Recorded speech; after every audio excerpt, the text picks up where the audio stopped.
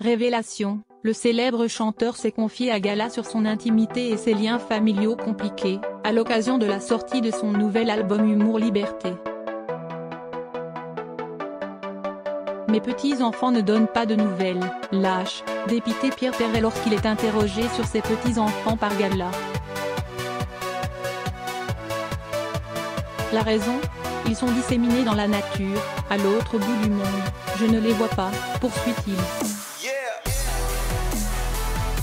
Il ne donne plus de nouvelles.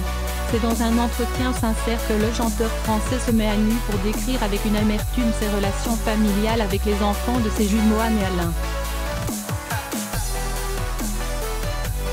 Je ne sais même pas si j'ai des arrière-petits-enfants, confie-t-il à Gala. Ça ne vient pas de moi.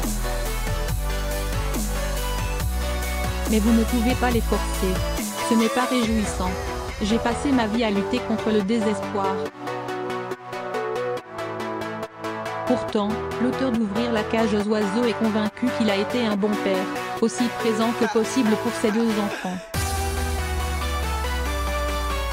En couple depuis maintenant près de 60 ans avec sa femme Rebecca, il assure que malgré ses 150 à 200 concerts par an, il s'organisait, de sorte à être disponible pendant les vacances.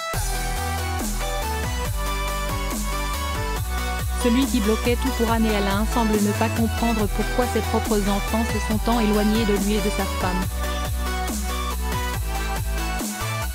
On leur a fait faire le tour du monde, je voulais les ouvrir à d'autres cultures.